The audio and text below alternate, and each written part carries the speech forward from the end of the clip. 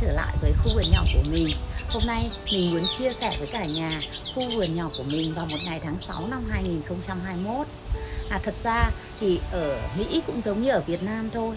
Một năm thì có hơn 12 mùa hoa khác nhau Và mỗi một mùa thì lại có hàng trăm loại hoa khác nhau. Chính vì vậy cho nên là khu vườn nhỏ của mình thì thay màu đổi sắc vào hàng tháng, thậm chí là hàng tuần và hàng ngày bởi vì là có những loài hoa thì nở từ 5 đến 6 tháng, nhưng có những loài hoa thì chỉ nở trong vòng một tháng thì hoa sẽ tàn. Ví dụ như là hoa lily này, hoặc là một số loài hoa khác thì cũng rất là nhanh tàn, chứ không kéo dài được nhiều tháng trong năm. Chính vì vậy, cho nên là mình muốn chia sẻ với những người thân yêu của mình về một số loài hoa và một số loài chim nhỏ trong khu vườn của mình vào một ngày tháng 6 để mọi người thấy được cuộc sống bình dị của mình hàng ngày thì như thế nào nhé.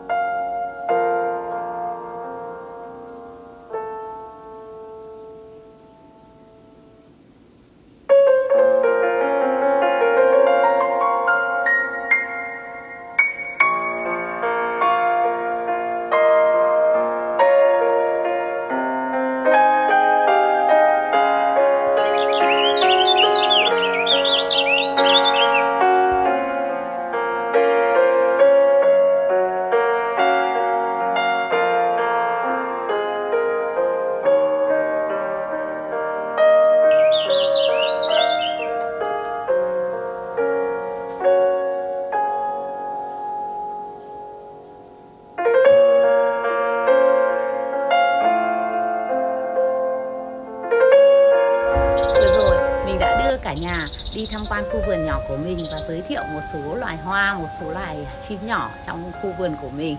Rất mong mọi người thích video này của mình. Nếu mọi người thích video của mình thì nhớ đăng ký, like, comment để truyền thêm cảm hứng cho mình làm các video tiếp theo nhé. Xin trân trọng cảm ơn các bạn đã theo dõi video của mình. Chúc cả nhà có những ngày cuối tuần thật vui vẻ và hạnh phúc. Hẹn gặp lại các bạn trong các video tiếp theo.